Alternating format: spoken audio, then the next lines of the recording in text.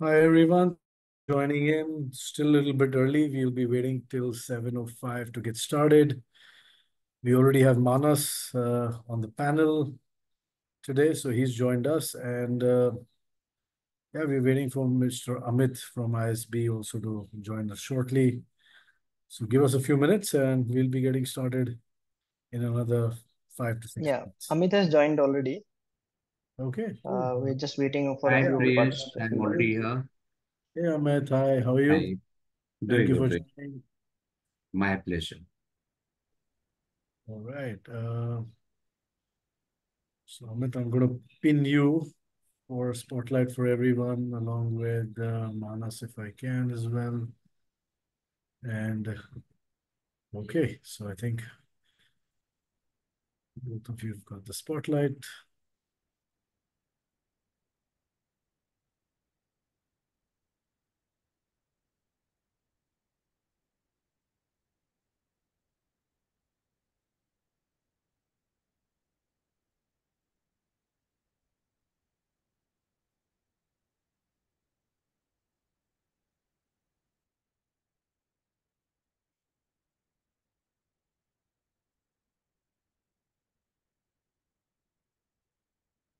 Oh, I had another.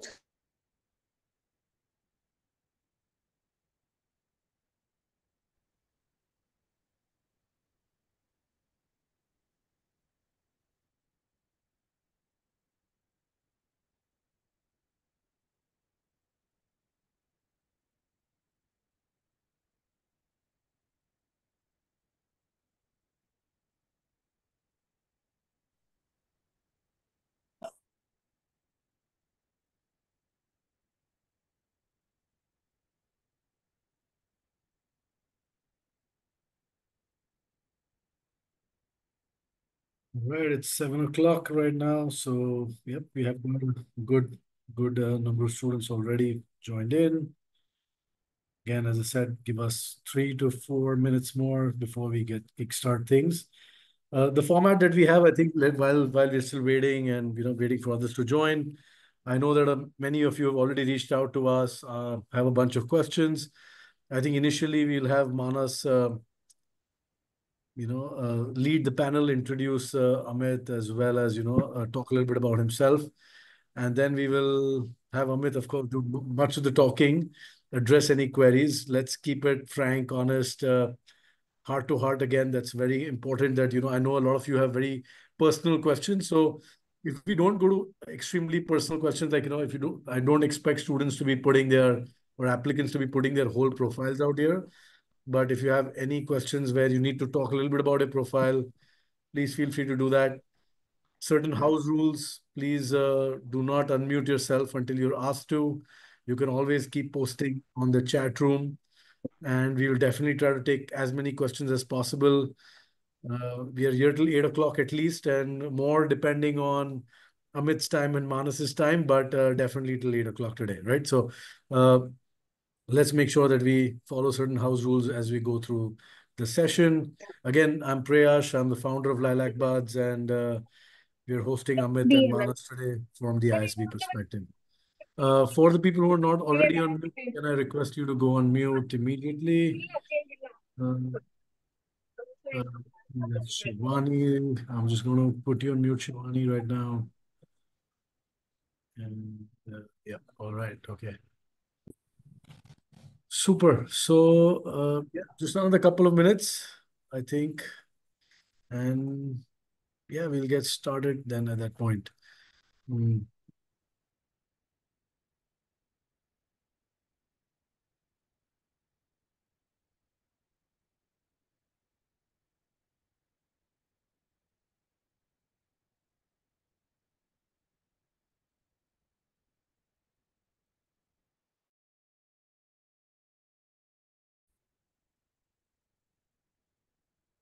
Uh, I think we are at 43 participants. Uh, Amit, if you think we can probably get started, more people will keep joining in and we Sure, can. let's start.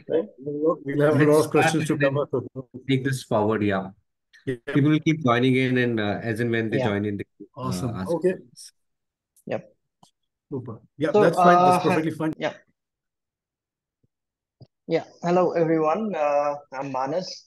I lead the ISB mentorship team here at Lilac Buds. We every year we get a lot of queries about admissions uh, in ISB. So I reached out to Amit and we decided that we'll uh, we'll host this Ask Me Anything webinar so that you can clarify all your doubts directly from the source in one place. Um, so I myself am an ISB alum. I was I graduated in 2022, and since then I have been mentoring quite a few students regarding their ISB admissions.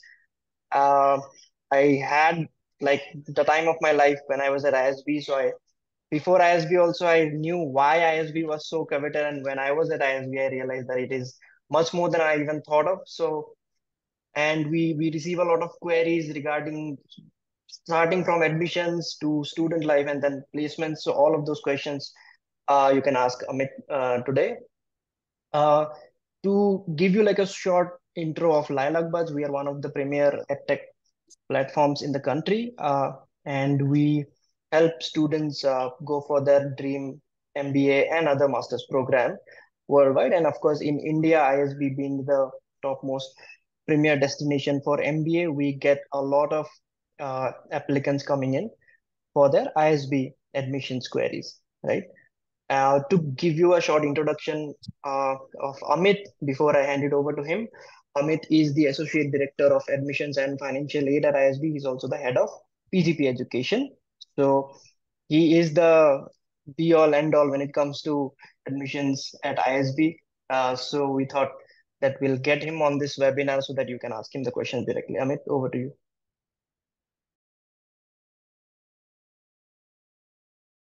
Yeah, you're on mute, Amit. Yeah, you'll have to Yeah, you're on yourself, mute, I think. Amit. Sorry. I'm sorry. I'm sorry. So thanks, Manas, for the intro and the kind words, and welcome audience to uh, this session. It's a, uh, uh, I look forward to interacting with you the next hour or so, and uh, you know, uh, clearing all the doubts that you might have. So uh, today's session, feel free to ask questions that you have, and you know, uh, I'll be glad to answer them. Just to set the context a bit before we take questions, I'll uh, you know uh, talk for a few minutes about what uh, we are, uh, what we stand for I know you all, all of you would have done your research on ISB. You'll know a lot of things, but let me also just give you a brief intro of ISB. So I, ISB was started in the year 2001. And when we were starting out, we did not want to reinvent the wheel, but bring in the world's best in terms of management education right here to the heart of India. And that's when we partnered with Kellogg and Wharton as a founding associate B schools. And, uh, you know, uh, over the years, we also partnered with the London Business School, the Fletcher School at Tufts University, and we also built a research practice from scratch for any top educational institution in the world is not just a knowledge disseminator, but also a knowledge creator. And ISB will lay a lot of stress on research, so much so that now we are ranked number one in the world, or number one in the country for research, and number 52 uh, uh, worldwide for research.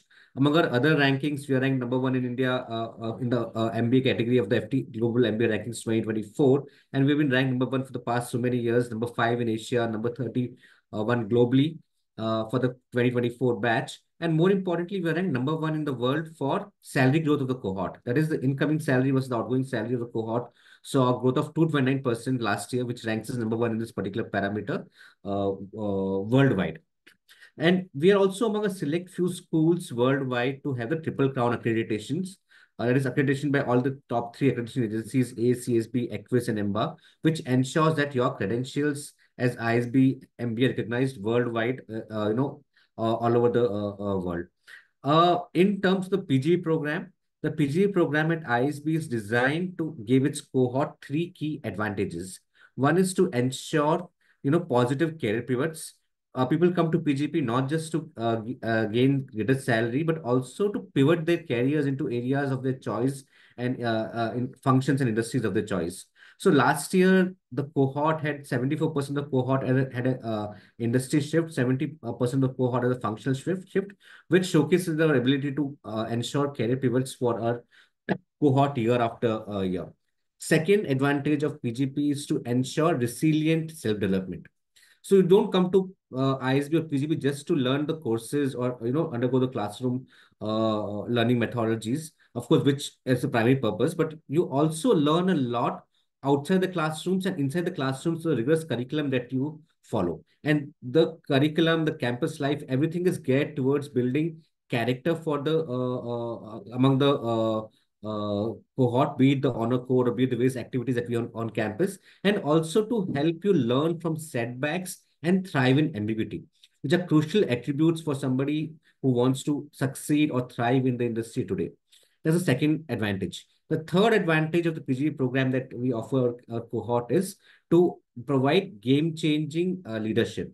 So our cohort, when they graduate, they do they have an ability to you know immediately impact their surroundings and bring in change at a large level.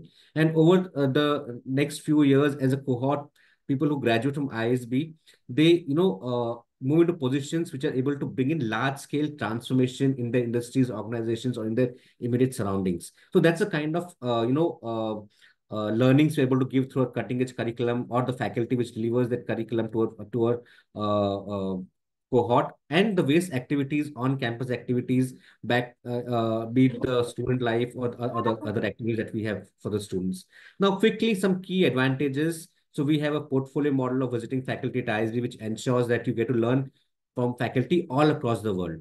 So although we have 70 plus teaching research faculty members across the two campuses who you know teach a contemporary curriculum and engage in uh, industry focused research across our various research centers and centers of excellence. But we also have a pool of 200 plus visiting faculty from top global universities and B schools worldwide there are 56 as of the last count.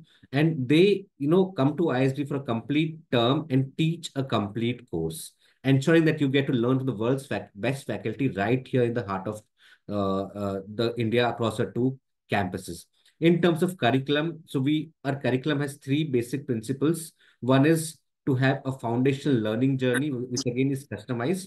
So as ISB students in the first few terms, you'll undergo 10 core courses uh, and also a bucket of four flexi core courses. Now, the 10 core courses and the four flexi core courses will enable you to learn uh, uh, about the complete cross-functional aspect of a business. You learn courses like strategy, economics, marketing, statistics, and so on and so forth as part of the foundational learning journey. Next up, you come to the customized learning journey, where you take electives. You have you can take between 17 to 20 electives for which you have a choice of 80 plus electives on offer by our faculty members, which will determine what specializations you end up with. And you have free choice to take up any specializations that 10 specializations on offer, six functional and four industry specializations for our students. The third principle is learning to learn. And here we have a lot of exposure to people. Uh, we give a lot of exposure to people in terms of hands-on learning activities, be it the experiential learning project. And this year we have come up with a concept of block weeks There'll be four dedicated weeks from the uh, uh, calendar where you will undertake one particular course in that 20 in, in that particular week. And this course is for 20 hours for one credit and taught by an industry uh, leader who is, you know, well versed with the topic. For example, we could be talking about uh, uh people from HUL coming and taking a course called Marketing in Practice somebody from the PE world coming and teaching you how to value options, futures, and derivatives. And you learn from the people who are doing that particular work right in the industry at that point and are masters of that field. So that's one new innovation that we have to our curriculum. Apart from that, we have initiatives for mentorship, uh, learning, and so on and so forth for our cohort at uh, uh, ISB. So that was about our curriculum, faculty. In terms of placements, also we have a, a dedicated placement team which ensures that you get career transitions and pivots uh, and this placement team is a professional placement team, which works out of various cities, in uh, four cities are currently out of India and two abroad, to ensure that you get companies coming to campus year after year across verticals and functions, and to recruit our students at uh, ISB. Uh, so these are the few USPs I wanted to talk about. In terms of admissions, so the round one deadline this year is September 15th, uh, 2024.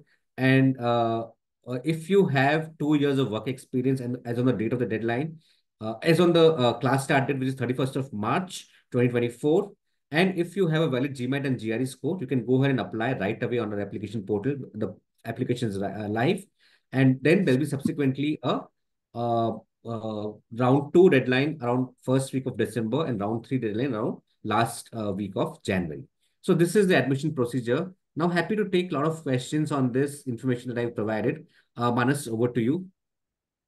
Yeah, sure, Amit. Uh, just to clarify one thing, I think when you uh, spoke about the work experience, you mentioned 31st March 2024. It's 31st March 2025, right? 2025. I'm sorry. 2025, yeah. 2025. Just the one day before the uh, commences. So Class coming to that, so we have quite a few queries. Uh, so I will just ask you at least a couple of the the hottest ones that have been like going on in the last couple of days that we have received. First one, of course, is uh, the uncertainty regarding the EEO entry option this year. Uh, I think about 20% of the people who have registered for this webinar, they had they were looking for the EEO uh, option. So we wanted to know like what's going on with the EEO. Is this going to continue or not? Sure. So early entry option are people with less than two years of work experience. We are reworking the EEO option for you and we'll come back to you with more information by 12th of August. So I'll urge all the people who are preparing for the early entry uh, uh, option entries, wait till 12th of August. Don't uh, abandon your uh, preparation for GMATs or GREs who continue to prepare. You will have uh, information on the early entry option by 12th of August 2024. And from there, you can then uh, go ahead and start filling your applications and so on and so forth. Cool. Uh, that's that's quite insightful. Uh, thank you. Uh, one more question that we get quite a lot. Although we know the answer, we give this answer, but I think people would be more reassured if they get it from you. Is there a difference between the first round or the second round, even the third round, when it comes to uh, applying to ISB?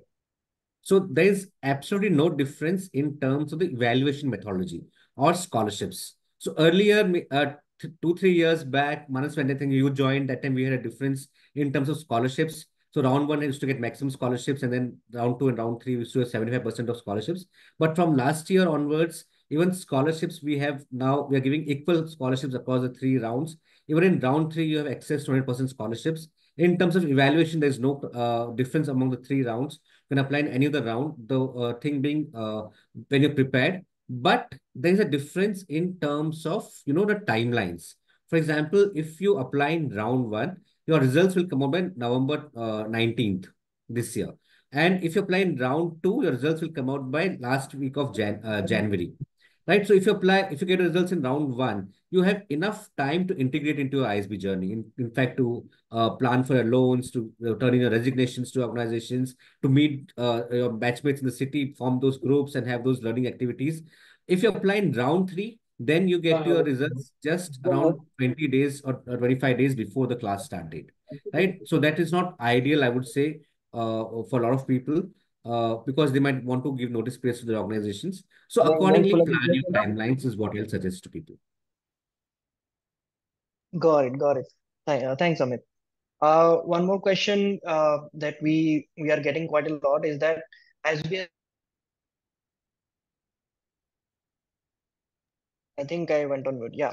So Yeah. as we had mentioned that uh, uh, that ISB is not accepting GMAT or GRE online scores this year. So some people had questions if they had appeared in GMAT, let's say online last year or one year prior, right? Since the validity is for five years. So in that, like let's say a couple of years ago when the offline GMAT was not even available.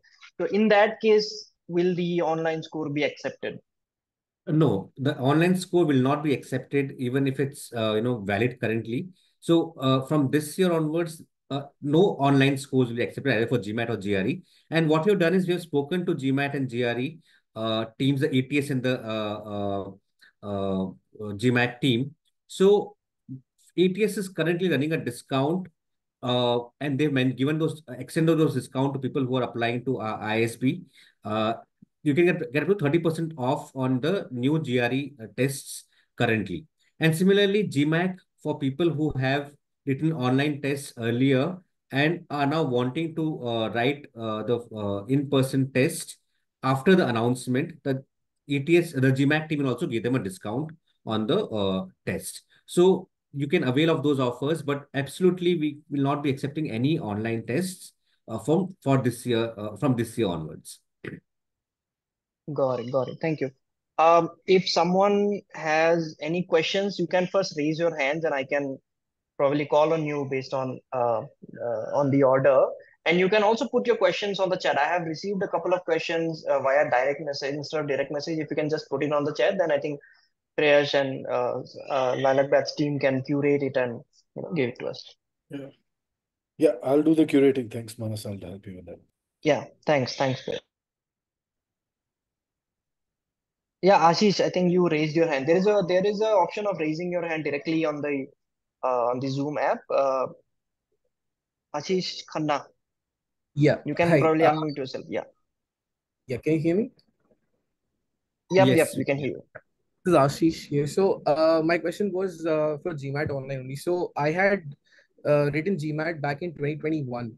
So, initially, I Mm-hmm. had booked offline exam, but Mm-hmm. the centers were shut across the country, Mm-hmm. and basically, I got a cancellation like a day before my exam, and I was sort Mm-hmm. of forced to give uh, GMAT online at that point. Mm-hmm. Uh, so is there any particular um, time during COVID or something like that where these scores will be considered? Because honestly, it's quite difficult as a working professional, especially at this stage with five and six years of experience, to again take a few months off and again start preparing for GMAT, especially with the revised uh, format of the exam. So is there any consideration like that? Because we were really forced to, uh, you know, um give the exam in that particular way, even if we did not want to. I totally understand and acknowledge your concerns. But the thing is that, you know, there'll be a lot of other sub uh, categories of people who, for one reason or or other, uh, would have had to write the online tests. So it will be very difficult to, you know, uh, allow one particular category or, or group of people and not allow another group of people. That defeats the whole purpose of the decision that we have taken. So we have been considering uh, not uh, having online scores for a while here and we choose to do it from this year onwards as a cutoff. So if you could have read last year also, and there will always be some people, uh, you know, who might have uh, been at the wrong end of the decision. But that's something which have, you know, take at uh, this point. And I'll suggest that, you know, uh, reattempt uh, uh, the test in a test center mode. We have enough time uh, till 26th of January. There are three rounds, and there's no difference in terms of the evaluation of the three rounds at ISB. Yeah, thanks. Thanks, Amit. Uh, Abhinav, you can probably go ahead with your question. Hi, sir. Uh, I'm Abhinav. Uh, I have uh, close to eight years of experience uh, in financial services industry. So someone like me with uh, an experience of eight, eight odd years. So, uh, I mean, would it be appropriate for us uh, with that sort of experience uh, to actually um, uh, look at ISB or apply for it? Like, because the average experience over there is like four to five years. So ju just uh, Yeah. wanted your comment.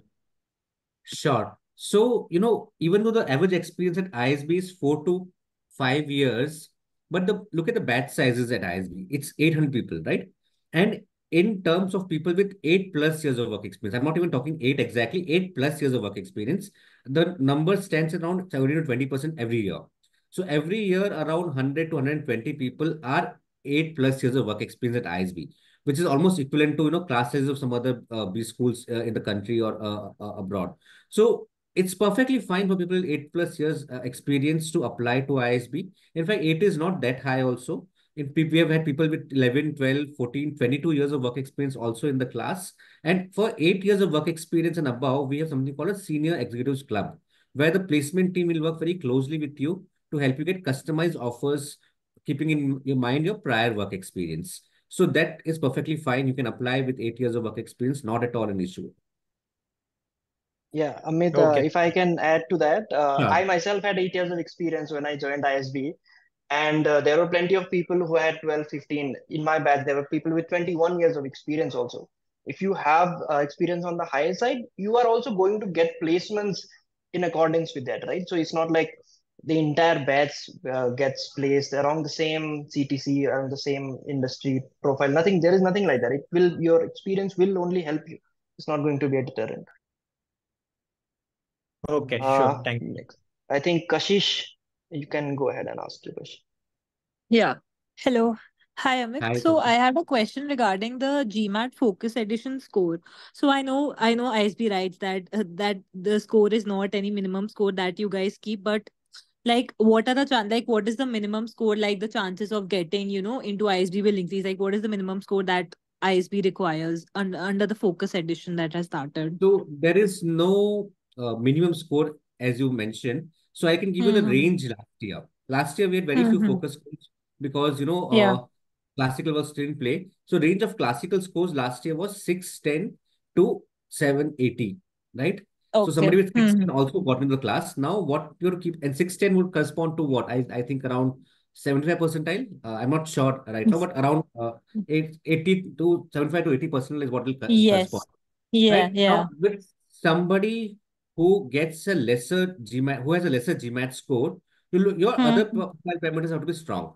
And what are the other it. parameters we look at? We look at your uh, uh, ac- CADs, work history, your essays, and uh, any other activities or so on and so forth, right? So if you have other profile parameters strong, there's no reason why you can't make it with a lower score. And again, uh, uh, vice versa, if your other profile parameters are weaker, let's say your CADs are on the lower side, you can go back and change your CADs, but you can always compensate it with a higher GMAT score or more clarity in your essays or uh, decent quality work experience. So it's a, all about balancing your profile. So I cannot say that, you know, for a particular per person, 610 should be enough or not, or six, unless I know the complete parameters and profile of the candidate. Got it, got it. So, for example, the GMAT, uh, the uh, GMAT that uh, GMAT has released, like you know, they have uh, got equivalent scores. For example, 645 is a 90th percentile this time. So, like Yes. uh, similarly, you are also comparing, right? The 710 is equivalent to 645, yeah. right? So we always looked at percentiles. Scores are always a Huh. proxy for percentiles, right? So even we now we Hmm. do the same. So uh, look at percentiles. If you are look around 90 to, to 92 percentile, you are around the median mark, is what I'll suggest. Got it. Uh, I have another question. So, uh, regarding like when uh, when is the last date that we can give our GMAT like for the first round only? So, if we give like 10, if You we can give uh, it if on we the 15th also. You can give it on the oh, 15th and enter your uh-huh. unofficial scores, which you see on the screen, or maybe uh, enter dummy scores and uh, upload the proof of test taken for on 15th, and we'll consider you in round one. And your score should reach us within next two to or 20 days, uh, two to Mm-hmm. two weeks to 20 days. And if not, we'll push you into round two. Oh, got it. So we can give on that day that day also and submit the That day form. also. Yes. Okay, that Yes. that's good. Uh, I, I have just one last question as well. So regarding the essays, the questions have changed this time. So I just wanted to know, like, what exactly, you know, as we are looking for essays, and if you could also describe, like, what is the purpose of changing it and what you are looking, what ISB is looking for in those essays. So essays, uh, we uh, you know usually ch keep changing them on regular intervals. And Mm-hmm. if you look at the essays, even this year and last year, both the essays are personal in nature, right? So they Mm-hmm. talk Right. about your experiences that you bring in, and you know about your uniqueness and thoughts. So that's what we're looking at in essays: self-awareness of the candidate, their experiences, and so on and so forth. The third essay, which is on your career goals, is not mandatory; it's optional. So there we are Mm-hmm. fine if you don't have a uh, concrete goal right now. It's perfectly okay as Mm-hmm. lo- long as you have broad idea of what you are looking at from ISB and what you're aware of your skill sets and so on and so forth. So essays are both Mm-hmm. personal and that's uh you know we'll keep tweaking them year on year to ensure that we get the best uh, out of candidates and uh, uh, in terms of their thoughts and uniqueness and which can also be discussed in the interviews with the candidates. Got it. Okay. Thank you. Yeah, if uh, Amit, if I can add something here. So as a mentor, also what we tend to see is that see, most of the people that apply to ISB are quite quite you know qualified in their profile to their academic and professional backgrounds, right? So uh, your essays are your weapon that helps you kind of stand out from the rest of the crowd. I think that's why your essays need to be personalized. I think that is, I think Amit can clarify on this a bit. I think that is why ISB is also going for more personal essays because ISB also wants to know what you are made of, right? What kind of a person you are. Because from a career professional point of view, all of all of the people who apply to ISB are quite accomplished. So they have like engineering background, they are analysts and Hmm. stuff, right? From uh, consulting background. So what differentiates is is kind of their own personal strengths and weaknesses, their successes and failures, right? So that's why your essays, your application kind of needs to stand out as to um, what makes you unique out of all those thousands of people that apply to ISB. Got it. So there there is an optional essay also, right? That uh, is there like there's an option to whether write it or not. So like is there any preference if a person writes it then they have a higher chance or if a person doesn't then they have a lower chance? So there's no preference as such uh, in terms of chances. But if you write Hmm. something, then be prepared to talk about it in the interview. Now, why Yeah. is that essay optional? You know, it's a career goals essay. We're looking at what goals you have, right? If somebody is very clear that this is what I want to do, I am Mhm. currently doing this, these are my skill sets, I'll do an MBA from ISB, then move on to XYZ companies or XYZ roles in uh, this particular sector, then perfectly Hmm. fine, right? But it's fine if you don't have a goal also because a lot of times people come to ISB, they take the core courses, they realize this is where my strength lies, and this is what I want to do eventually after taking those courses. That also is okay, right? So if you have Awesome. clarity on your goals, go ahead and write that essay. If you don't have, that also is fine, as long as you have a broad idea of what you want to do gain out of ISB experience. Got it. Thank you. Yeah, Yeah, I think Vishesh uh, Dargan. Vishesh, uh, Vishesh Dargan, I think you can go ahead with your question. Hi, hi Amit, hi Manas. Thanks for letting me speak. So essentially, I'll circle back to the question that the previous respondent had asked about the personal and professional mix of essays.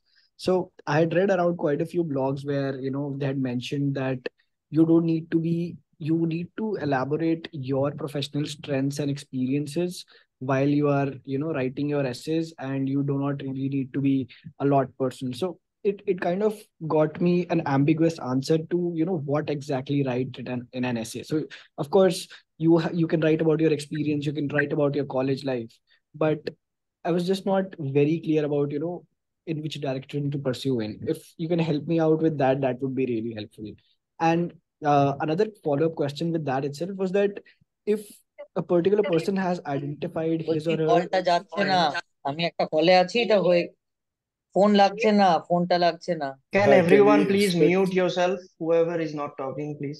I'll just I'll just do the needful here. Yeah, Uh, Amit, but I'll- yeah, I'll I'm let you sorry, know. Vishesh, you can continue. Yeah, Vishesh, you please Amit- continue. and then i can continue yeah Yeah. Yeah, Vishesh, So please go I- ahead. Yeah. I think I got the first part of your sorry, yeah, question, yeah. which is should the Yeah. essays be personal or professional, uh, uh, or a mix of both? See, it's totally up to you. As I mentioned earlier, the two that we talk about, we are looking at your particular unique characteristics, your strengths, weaknesses, and your experiences that you bring to the table. It could be professional. You could have gained them from a professional setting, or it could be personal setting. Perfectly fine. There's no uh, hard and fast rule that it has to be professional or personal. Anything is fine in that. Uh, basically, what we intend to look at is what kind of experiences you're talking about. Uh, you know, your understanding of uh, yourself, self-awareness, and maturity of your experiences, right? So that's ma- matters more. Uh, whether it's professional or personal, it's that that's irre- irre- irrelevant. Uh, the professional essay is more the third essay, which is purely professional in terms of your goals, your skill sets that you have acquired right now, that you can attempt if you want to. If only that is also fine. Understood, understood. I think that clears out a lot of things. Uh, another question which I had regarding the third essay itself. So, so for example, a particular candidate has identified his or her skill that he wants to pursue. For example, a particular person does have consulting and product management product management experience, but he has decided that he wants to go into product management itself. So, writing that in an essay that I would like to work in a company, uh, you know, product management company post my ISB dream does that solidify a particular candidate's position or you know does IS, isb look for a candidate who is more open-minded and you know open to things like that No, it's perfectly fine if you mention that I want to be a product manager or a consultant or uh, finance professional, whatever. But if you mention that, be prepared uh, with the various paths, various uh, initiatives that you have done in that uh, uh, particular direction. Also, awareness of what those roles entail, uh, awareness of what kind of companies come and recruit at ISB. It's very important if you mention something clearly to do a lot of research and talk about it because then you'll get questions around that particular uh, thing. So if you're comfortable doing that, go ahead and mention that perfectly fine. understood thanks amit thanks manas Thank you, thank you. Uh, Sagar Parekh, I think you can go ahead with your question. Hi, Amit. Hi. Thanks for addressing us. So I wanted to ask, what's the benchmark for a scholarship at ISB? Is there any benchmark? So, uh, in terms of scholarships, we offer two types, primarily merit scholarship, merit cum need scholarship. And merit scholarship, everybody by default is eligible. And here the criteria is your performance in the ISB selection process. It includes various, various criteria like your uh, academic scores under uh, uh your work history, your GMAT, GRE, your essays, your interview scores, and so on and so forth. Higher up in the packing order you are, more the chances of scholarship uh, for you. And here we offer up to 100% of tuition fee waivers. Uh, the tuition fee is around 25.5 lakhs per annum, and you can get up to 25.5 lakhs up to uh, scholarships uh, as part of the merit scholarships, and minimum starts from eight and a half lakhs for uh, under merit scholarship. Similarly, there's a merit cum need scholarship. The only difference here is the candidate's annual family income should be less than uh, 18 lakhs per annum. If that's the case, then you, you can apply for the merit cum need scholarship. And here also we give tuition fee waivers up to 25 lakhs under this particular category. So, and then there are a lot of other uh, scholarships named after uh, our alums or uh, uh, professors and, uh, you know, uh, industry donors and so on and so forth, which you can, which can be considered for and will be granted either prior to application or post uh, application. And uh, in uh, all last year, we dispersed around 20 crores worth of scholarships to a PGP cohort. Uh, and around 22% of our cohort had some sort of a scholarship or other at ISB last year. Okay, got it. Uh, one other question. I just lost my internet there. What's the uh, percentile range that you mentioned for ISB admissions? So for the classical admissions, last year's range, people who are in the class was 610 to 780. Okay. So that would be similar to what uh, we can see in uh, this The edition, focus focus edition. edition. Yes. Okay, okay, got it. Thank you. Thank you. Let's move to Krivi Arora. Yeah. Yeah, um, good evening, Amit.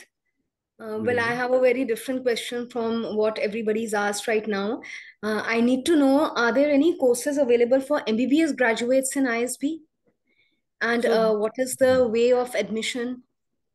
so uh, in fact, uh, you can do the PG program at ISB, and every year we have quite a few doctors, dentists, and people from the healthcare field who are part of the PGP uh, cohort. I'm sure Manas your batch also will have at least five to six doctors or We uh, had uh, doctors, dentists, actors, Ranji Trophy cricketers, like Yeah, people yeah, from all backgrounds. Yeah. yeah. So Okay. a lot of doctors do the PGP program and they have a well-defined career path. They might, want to move into healthcare section, uh, healthcare industry. Uh, a lot of companies come to hire from there, administration and, and, and so on and so forth. So that's one Mhm. career option. If you're looking for Right. short-term courses, then we have advanced uh, pro management programs in healthcare as well. In fact, in the Mohali campus, we have uh, something called uh, Max Institute of Healthcare. Uh, it's Max Institute of Healthcare. Yeah? So uh, there you can, uh, we do a lot of research uh, uh, uh, in the areas of uh, healthcare, and we also offer courses to professionals, uh, medical or paramedical or even uh, other prof industry professionals in the uh, area of management. So you can look at that also if you're not inclined to PGP, but you as doctors, a lot of doctors do that to the PGP program every year, and that could be an option for you as well. Okay. And is there any course uh, related to pharmaceutical marketing or pharmaceutical management? So, uh, uh, not so niche courses, but Okay. uh, we uh, we'll have general management uh, programs th there, and there could be certain programs in the executive education side. You might want to go and look up there, uh, which are niche towards healthcare per se, but not pharma uh, alone. Not pharma. Uh, not pharma alone. I'm not sure. Uh, uh, there might be short-term courses, custom courses, open courses. You can look up uh, on the executive education website of ISB. Uh, but again, a lot of pharma people also come to ISB's PGP to complete their one-year full-time MBA program. And for doctors, how So many years of experience is required before they join in? same, two years of work experience. Two years of, and is internship counted in that? For doctors, it is counted, yes. For doctors, it's counted. Yes. Okay. Thank you so much. Yeah. Thank you. We'll Uh, take yeah, Subha. Question. Yeah. Please go ahead. Yeah. Hi, good evening. So I have uh, three questions for you. The first one is like I have already completed an MBA from a tier two college, and now it's been three years after I completed my MBA.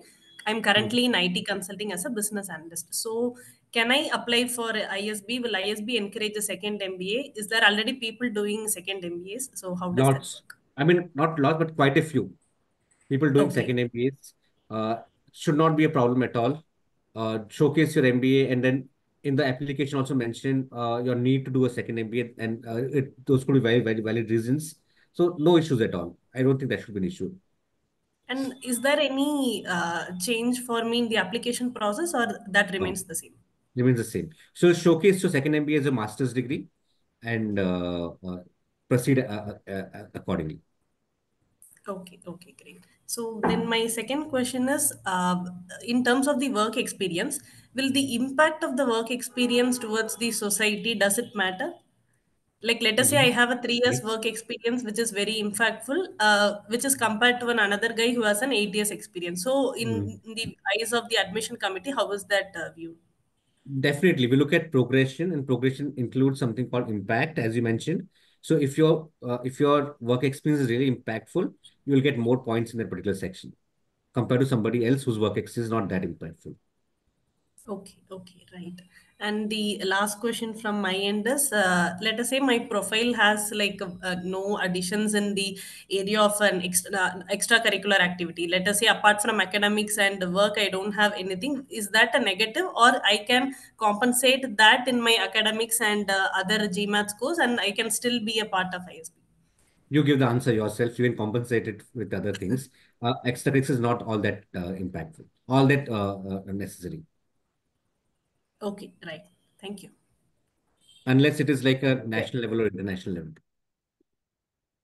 Got it. Yeah, uh, Manav, I think we can, before we go ahead, I have uh, posted a link to uh, a Google form. So anyone who doesn't get their question answered, you can just submit your questions and we can answer your questions later on also. I can send up a follow-up email or something, right? Yeah, Manav, please go ahead with your question. Yeah, thanks, Manas. Hi, Amit. Hi. Uh, so I just wanted to, uh, you know, get some more clarification and touch base again on the new GMAT Focus Edition, uh, you know, the ra the range. Uh, I don't want to, you know, I, I understand that we don't touch base on the m- minimum score requirement. So uh, I believe the current batch has sort of a, uh, a range of about 645 to maybe 745 or so. So I just wanted to understand if, you know, uh, considering that the incoming batch of 25 is going to be primarily, at least, you know, uh, completely GMAT focus edition. So is that range going to be changing, or would that be a range that uh, ISB would be targeting for most of the students? Again, as I mentioned, you know, range will uh, range keeps changing year on year. And last year, the number of focus people uh, were very less in the batch. So hence, you see the range which it is. Uh, more than the scores, I'll always advise candidates to focus on the percentiles. You know, uh, look at the percentiles. So range will definitely change if when more and more people from focus edition start coming into the batch. The range is going to change because then they'll come in, come up with different parameters and other things. So yes, it's going to change. But Oh. saying that 645 is going to be the minimum next year, I don't think it's li- likely. Okay, sure. And uh, another part, I, you had also mentioned that, you know, academics, uh, which I have known that academics will also play an important role. But I believe ISB, uh, if this, if not last year, this year has made a change that the 10th and 12th grades are also not included. It's just going to be the undergrad uh, uh, or any postgrads that, that have been performed by the candidates. Yes. So, Yes. so like, is that actually going to make like too much of a difference? Like, say, you know, if someone has performed well on their uh, 10th and 12th and a little less on their undergrad, like, you know, how would that differentiating factor be considered? So 10th and 12th, we're not looking at this year. We'll only look at your undergrad scores. And in that also, there are a lot of different uh, things we look at. Your degree, your uh, institution, your university, your scores, and then we normalize scores across universities and so on and so forth. So yes, 10th and 12th, no. Undergrad is what we're going to look at. Okay, sure. And just one last uh, little question. Uh, so you had also mentioned, uh, you know, uh, actually, I just wanted to clarify this that the GMAT now, I'm someone who has two years of work experience. So if I join ISB in 2025, I would be having about two and a half years of work experience. So my GMAT score would be tallied with people of my work experience range. Is that correct? No, no, that's not correct. So what will happen is we'll not tally individual GMAT scores or individual work X of people. We'll look at the profiles of the candidate. And each profile will get a profile score, which will con- consist of your ACADS, your work experience, your GMAT scores, essays, and so on and so forth. And then uh, the profile score of the candidate will be compared with the cutoff for the profile score about which people are going to call, be called for interview. So I'll not uh, so I will not say that your GMAT score will be compared with if you have lesser work experience, then you might want to actually uh, cover up with in other areas, maybe slightly higher GMAT or uh, CADs and so on and so forth. So that's how it goes. Okay, got it. Thank you. Um, yeah, thanks. Uh, Manan, I think you can go ahead with your question. Hello, I'm audible. Yeah, yeah, you're audible, Manan. Hi, hi, Amit. Uh, hi, Manas. Uh, thanks for this, first of all. Uh, just uh, wanted to understand, Amit, uh, what do you mean by WorkX? Like in terms of ISB definition, what do you mean by WorkX? So work experience is, is there are three rules of work experience to be for it to be counted as full-time work experience. One is it should be after your undergrad, right? Anything which you Okay. do along with your undergrad will not be counted as full-time work experience. Second is it should be a paid uh, uh, activity. You can't do a pro bono project or you know volunteering and call it work experience. Third is uh, it should not be concurrent with any other full-time activity. So you can't have two full-time work experiences at the same time or you can't be pursuing a master's full time and also pursuing a full time work experiences experience. So three key key rules of work experience. Uh, you know, full full time, not concurrent with any other full time activity, and a paid uh, uh activity, not a pro bono. And now, in terms of work experience, also we look at uh, quite a lot of things. How we evaluate work experience is that we look at progression in terms of uh, work. Whether you have worked for five years in an organization, uh, five times uh, one year, or whether you have had a steady progression in your work over the last five years, what in terms of your projects, in terms of your uh, you know uh, exposure, in terms of your maybe uh, achievements, in terms of your salary growth, in terms of your promotions, all those things will showcase progression at work. Understood. Understood. Uh, so just wanted to ask a doubt. I'm a lawyer. Um, I did my undergrad in 2020, and from 2020 to 2023, I was doing my law degree. Uh, with that, I was working at a couple of law firms. Uh, not necessarily internships; they were proper paralegal uh, kind of uh, uh, well-paid jobs that I got. But again, I think it falls into the third bucket that Yeah, masters along with your masters, and masters is full time, I guess. uh, the law degree that I was doing on the side. Will that Yeah. count? So the law degree it was doing on the side, was it a part time or was it full time?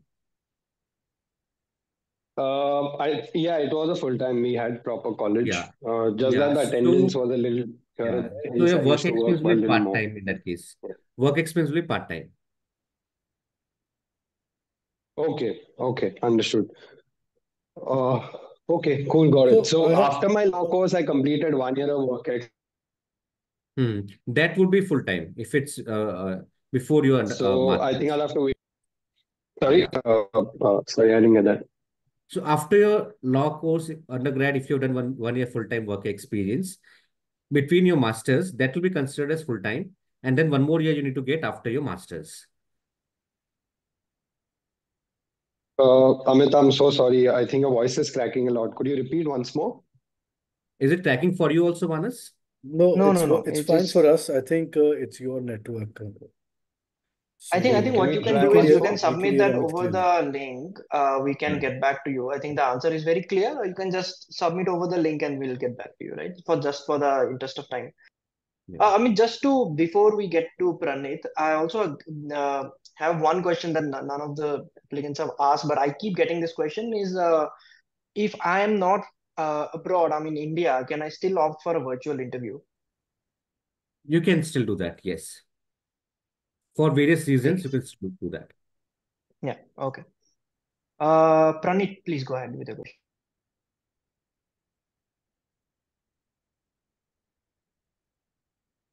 Praneeth, if you have a question, you So can unmute CA yourself. articleship is not considered as a full-time work experience. Uh, yeah, for Ayush call, you asked in chat. Yeah, Uh, I think then we can move on to Hetvi. Yeah, Hetvi, Hetvi, yes, can. please, please go ahead. Hi, Amit. Uh, so. I had two questions. One in regard to us, we need LORs for the submission, right? So is it sort of advisable to take it from your current employer and current manager, it, or it could be your ex-employer or maybe, you know, ex-manager kind of thing? It could be either. Either is fine. But a senior Hmm. uh, uh, colleague, it co somebody who's at least one level above you in the organization, or in uh, Okay. any previous organization. Okay, so it, it doesn't need to be specifically current employer. No, no, not not necessary. Okay. And another, I had a question in terms of scholarship. So you had mentioned about the need-based scholarship that had Mm. uh, criteria for family income, right? So the is there a sort of you know timeline since when the family income would be counted? Like my father is retiring soon, so what would be the timeline if it is seen there? Which it will be the financial year in which you're applying. Okay. In that Okay. financial year, what was the family income? That is uh, more important. Okay, So in the after, from 1st April to 31st of March 2025 is what we look at. Okay. Okay. Yeah. Okay. Thank you so much, Amit.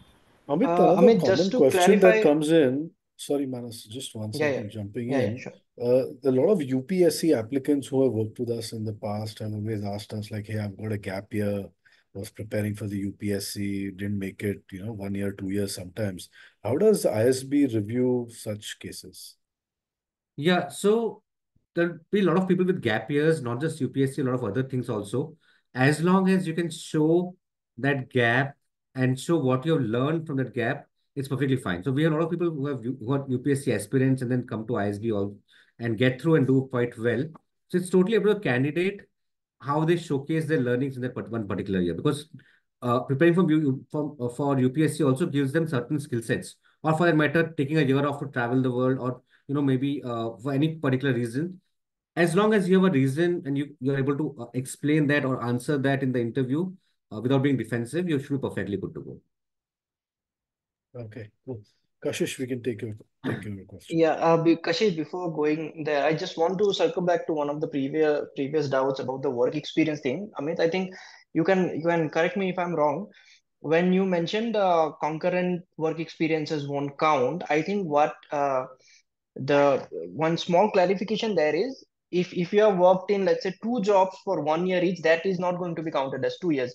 But if you have in total you have more than two years of experience at the same time let's say you had a full-time job but you also started an entrepreneurial venture for let's say six months or something you can still mention that on the application.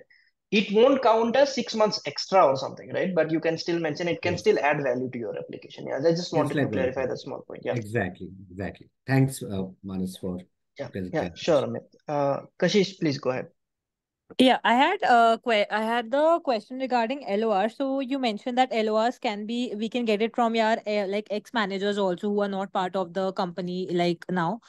But I wanted to know like there was this part where it mentioned that after you get admitted, your your managers are called for you know to get uh get to for the background check. So what if the what if that manager at the time when you call, what if that manager is not there, like he's left the company? So will that count?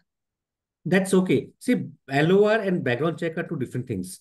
LOR, we Mm-hmm. are getting a validation of your skill sets from somebody who has worked professionally from, from you. Background check is simple that whether you were there or not. You mentioned in the application form that I worked there for two years, whether you work for two years or not, that's all. It's a third party agency that, that, that does that. So if your manager is not there, somebody else will be there who will have the open the records and say, yeah, we have we had uh, Kashish working here from so much, this date to this date. That's it. That's all we are looking at. And the background, uh, third party background verification, people just need a number to go by. And if the person is left, they will find out somebody else to get the data verified. So two different things. LOR is different and background check is different. That's it. Uh, so uh, I had another question. So, for example, like I worked with a manager like uh like uh, one year ago. So for like I if I get you know if I get a recommendation from him also, will that will that be a good thing? Like Yes, that can be fine. Not more than, okay. ideally, I would say not more than two years you should, uh, uh, because your skill sets change, right? So GMAT Hmm, says, right. I was supposed about five years. I would say your LOR, uh, your people who know you in a professional uh, setting as valid for two years. That's of course not Hmm. official standpoint of ISB, but I advise people that, you know, if you want to get an LOR, if you're not in touch with somebody for two years, they may not know your current skill sets and they may not be able to do Got justice to your LOR. So got that's it. a thumb rule which I'll say not to uh, get it from somebody who who will know two years or three years back. Got it. So it is not recommended if I have two years of experience, so I should not get an LOR from my teacher or someone, right? It is No, not not. recommended. yeah Yeah, I kashish would So in I the I should get interest it of from a time let's probably move ahead yeah, with i think i think you you have gotten to ask five questions so the, the other participants Okay, might okay. be a bit jealous of you right uh Apologies. Vasundhara Thank you. Uh, Vasundhara, uh, let's go ahead with your question. Hi, Amit. Hi, Manas. I had one major question to ask. So basically, when it comes to the area of work experience, um, the does like ISB look into the fact that oh the company is well renowned or there's a or there's another candidate who has worked in a startup or is it about the impact of the work that the person has done? It's about the impact and the progression that you show at work. Okay, great. Yeah. Uh, Ashrita? Yeah. Uh, hi, sir. Uh, sir, I um I got my profile got shortlisted for the second round of YLP. So that second round is due on 31st August. Mm. And I just wanted to know, it had an evaluator section. Now, Yeah. who is an evaluator according to ISB? So I don't have any work experience. I'm in the final year of college. Yeah. So for you, the faculty can be the evaluator. Any Okay, so faculty when that I you know very well, that is fine. Mhm. Okay, so one other question is when I choose a faculty, does it matter what the faculty's accreditations are? As in, it's not just what's no, written in the LOR, but also no, their no, no, no. accreditations that matter? No, no, no. Okay. Okay, But thank uh, you. there'll be a column how they know you. So teach the faculty, Okay. take a faculty who has taught you on who you have worked with on a project or some something. Yes, Don't just yes. randomly choose any faculty. Okay, understood, sir. And also, sir, um, I know this question has been asked, but for specifically for YLP, uh, is there a different range of GMAT scores that are accepted? Yes, uh, of course, because your work is on the lower side, so uh, Yeah. you need a higher, uh, slightly higher GMAT. But I've seen people with 660 also get in through YLP. So uh, Okay. 650, 660 seems to be the floor for YLP, and anything higher up is uh, fine. But I'll not advise people to, you know, aim for 650 or 660 for YLP. Aim for median Mm. score and then take it forward from there. Okay, all right. Thank you, sir. Okay. Yeah. Khushi, uh, please go ahead. Yeah. Uh, good evening, Amit. Good evening. have uh, I have a couple of questions. So, uh, while you're applying to ISB, is there any specific criteria for the campuses as well? So, I mean, if I'm looking to apply No, to the. Mohali campus in particular, No, no, you not can't apply to Mohali or Hyderabad. We Hmm. follow one school to campus philosophy. You apply to ISB and you can give a preferred choice of the campus, whether Mohali or Hyderabad, and we'll Mhm. try and you know meet your choice. But you Hmm. know, we want to ensure that there is parity among the two campuses in terms of the various parameters, men to women, uh, GMAT score averages, GRE averages, industry, uh, uh, equal representation of industry, equal representation of geography. So in that instance, some of you may not get a preferred campus. Understood. But there's no Okay. difference in terms of the ex student experience, uh, whether you're at Hmm. Hyderabad or whether you're at Mohali. And so is going to be the case with the placements? Yes, placements are also integrated. So uh, of late, placements were happening online, but from this year onwards, we are moving to in-person placements, and placement will happen at a common location, either Hyderabad or Mohali. And if they happen in Hyderabad, all Mohali students will come down to Hyderabad to take part in the placements, and vice versa. And companies will not even know whether you're from Mohali campus or Hyderabad campus. For them, you're all ISB students, not ISB Mohali or ISB Hyderabad. So companies don't come to hire from Mohali or Hyderabad; they come to hire from ISB. So placements and admissions are integrated for uh, both the campuses. Super. That's Got amazing. It. Yeah, And and co- one, companies are not even, I think, allowed to ask that question. They're Which campus are you from? Yeah. okay, great. Uh, and just one last question I have. So while uh, so I currently have about two and a half years of work ex, and I was pursuing CFA while I was working. So now is that also going to be uh, balanced out uh, while I'm working in the sense that I mean, is that also going to be seen as a way that you know I have a little lesser on the full-time side, or CFA is No, no, one? no, Uh, no. CFA is uh, you will do it uh, along. You can do it along with your work ex. So CFA is a certification, I would I would say, or a qualification, hmm, right? So that's okay, perfectly fine. Your work ex will be counted as full time. got. Thank you very much. Yeah. Yes, Vishesh, we, uh, please go ahead. Yeah, uh, thanks. I was actually asking if a particular person, you know, uh, does not make the cut in round one, can he apply back in round two or round No, three? no, no. So it's a single application cycle. The rounds are Understood. divided for the ease of processing of the applications. So in one year, you can apply only once. Oh, Unlike the okay, got it. IIMs where you can do that, but it's not for ISB. All right. Uh, yep. All right. Viraj, yes, over to you. And one reason for that is, you know, uh, uh, we don't foresee your profile changing drastically within a round, right? One year you Mhm. still may come back with better parameters, but we look at a holistic profile, and within a one or two weeks or one or two months, the profile is not going to drastically change that you can reapply Un- again. Yeah, even Thank if you're applying, reapplying the next year, I think one crucial part that ISB looks at is how your profile has changed and what improvements you have made over the last year. Yeah. Got it. Uh, Thanks. Rohanika, I think you can go ahead. No, no, we have Uh, Viraj first. Sorry, I Oh, just acha, Viraj, lowered yeah, his hand, sorry. but yeah, let Hi. Viraj take it. Uh, thanks, Priyansh. Hi, Amit. Uh, so just one question. Uh, post, uh, you know, my graduation, if you, you know, during COVID, if I've done any summer internship program with a company, is that counted as WorkX? So was it uh with along with your undergrad, No, no, after graduation. and was it paid? After You got a you you got paid Yes, it it? was paid. It was paid, but the It will be duration was uh, approximately four four months, not long, It because it was a considered summer as work. internship program. Yeah, it will be considered as full time. After graduation, paid activity, full time. You went uh, morning nine to uh, five. You did a It was project. uh, was since it was during COVID, it was uh, in yeah, remotely. yeah, agreed, agreed. It will be counted as full time works for four Okay, months. fine. Okay, thank you. Uh, yeah, thanks. Rohanika, please go ahead. Uh, so I had a similar question, but it's on the GRE. As the new GRE has gotten shorter, uh, you're getting penalized for, you know, the same amount of questions that you're getting wrong, or you're getting penalized more, I'd say, because the number of questions are less. So, uh, are we foreseeing like a shift towards the left, or what would be the expected range in terms of score, uh, given the new GRE? In, it depends on the people, uh, the pool of people who apply with GRE this year and what kind of scores they get. So it's not like we're, as I mentioned earlier, we don't look at absolute scores either for GMAT or GRE, it's about percentiles. And if you see that there's a, there's a shift in the GRE score taking uh, uh, itself, then that will showcase in the selection also. Okay, okay, understood. Thank you. Okay, there is Yeah, one question that's come on the yeah. chat. A couple of people wanted to know, can the recommender receive the link without having a GMAT score so that they have sufficient time? uh, Yes, yes, they can. person has not taken So the recommender can receive the link uh, whenever you want to send it. Uh, that's perfectly fine. Yeah. Uh, all right, Yeah, uh, Tanushree, over to you. Tanushree.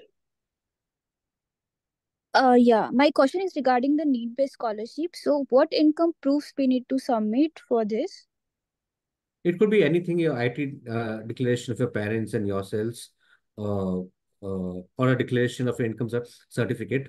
Would be any of those documents. Like, it will be uh, in-hand salary, not CTC.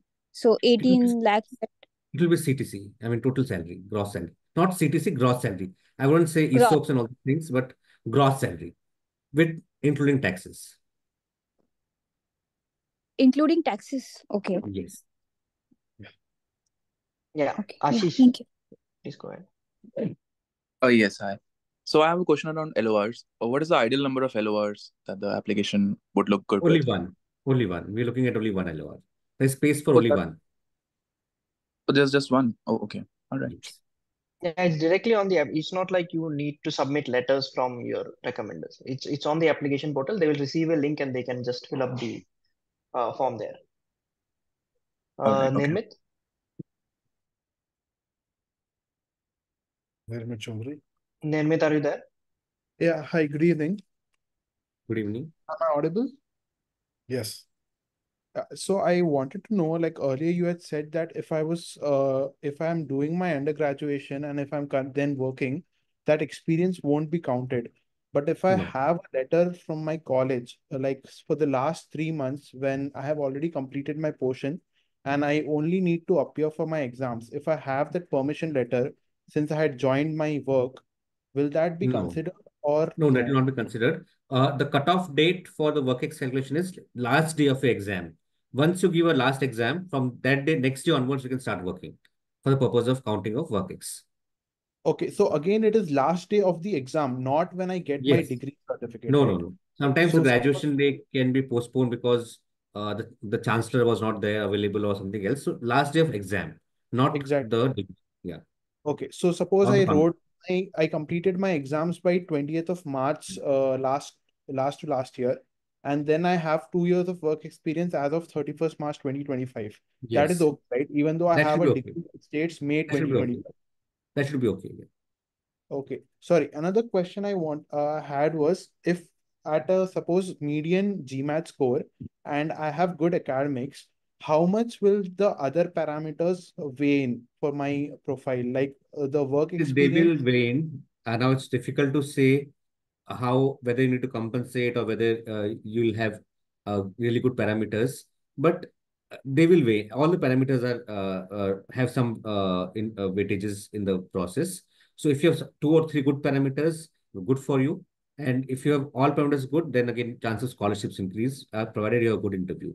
So it's very difficult to say individual cases that, you know, this is my parameter, uh, because there are a lot of different variables that are, that are there.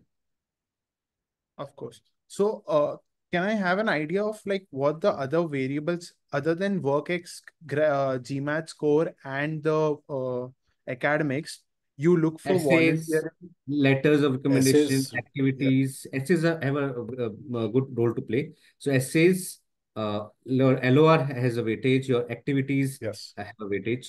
So yes. Yeah, So okay. Nirmit, Like I I had think like mentioned, there will your be you've got to be holistically holistically ready in terms of your application. If you have a holistic readiness, they evaluate all parameters. There's not like there's an extra weightage to one parameter was the other. You can broadly assume everything goes into a holistic profile at the evaluation stage.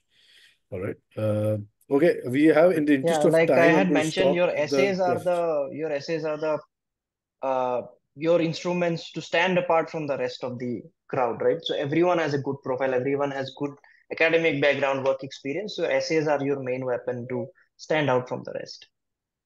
Got it. Thank you. Thank you. Yeah.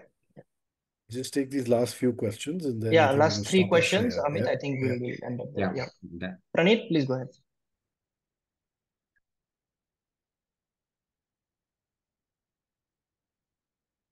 Praneeth, are you there? Praneeth, Or I think you I if seem to have someone an has audio any issue. The unanswered second time, so let's okay, let's move to sure. Prateek. Yeah, Prateek, can you? And if someone has any unanswered question after Shreya, please submit that form. I had pasted on the Yes, chat please submit the get form. to you. Yeah. Thank you, Priyesh. Thank you, Manas. Hello, Amit. Uh, yeah, Hi. so I come from merchant navy background, and uh, we ha- what we do is we sail for six months, and then six months we wait, and then we again go for six Hmm. months.